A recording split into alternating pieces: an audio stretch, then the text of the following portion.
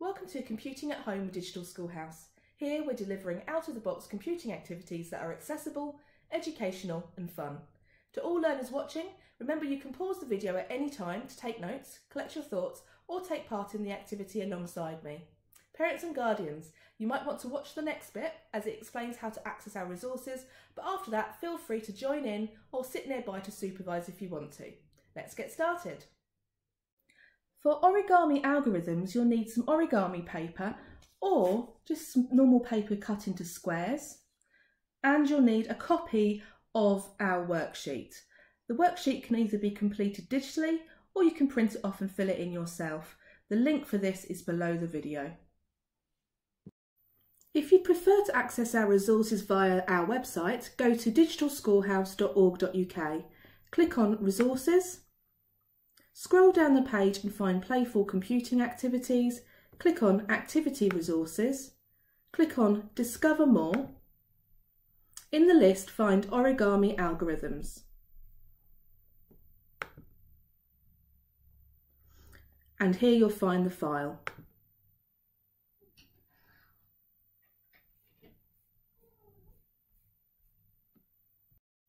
Alternatively, click on the magnifying glass type in origami, click on search,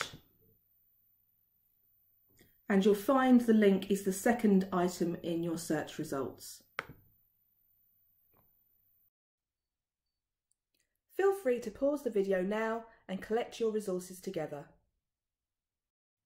So what are we going to learn by completing this activity? Well, this activity links to all five of the computational thinking skills, algorithmic thinking, decomposition, abstraction, generalisation and evaluation. Don't worry if you've not heard of those words before, I'll explain more after the activity. For this activity you're going to need your origami paper because I'm going to be giving you the instructions to create a four pointed star and you're going to follow them just by me giving them verbally. Let's get started. Make these creases exactly in thirds, you may have to measure. Now fold in half diagonally both ways and open.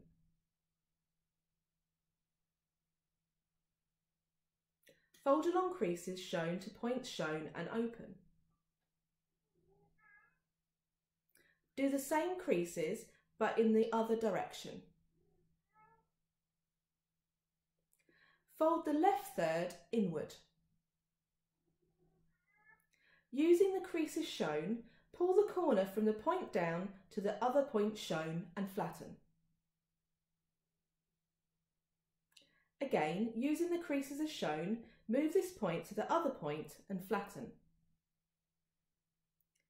Again, using the creases shown, move this point to the other point and flatten. Move only the inside flat outside to the point shown. Fold this corner down a long crease shown.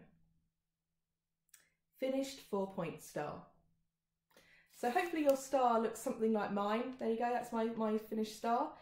Um, it probably doesn't and I wouldn't really expect it to. So what I would do now is follow the instructions from the worksheet and actually create the, the four point star from the instructions.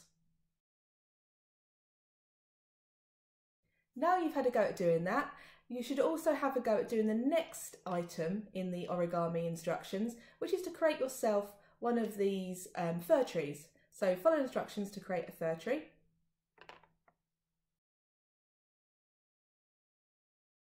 And now you've done that, do the final one to create yourself a penguin.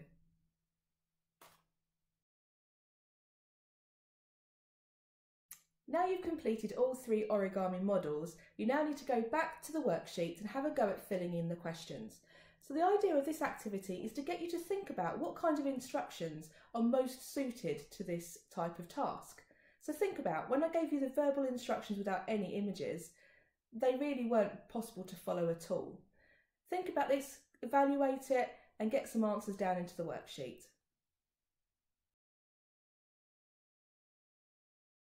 Let's have a look at what we've learnt. we've learnt about algorithmic thinking because we've realised that instructions need to be really clear and precise if we're going to be able to follow them to create an origami model. There's some decomposition going on because each of the instructions are a way of breaking down the problem so you can follow the instructions and create the model. There's some abstraction going on because I'm pretty sure that no penguin that I've ever seen looks quite like the one that I've made, but yet I still know it's a penguin, so the unnecessary details being taken out while it still has the unique things that make it a penguin included. There's some generalisation going on if you've done any origami previously because you'll be following some instructions and having some idea of what to do.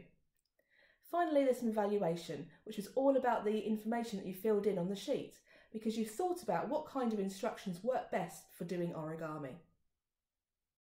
If you've enjoyed this activity, here are some ideas for how you could take it further.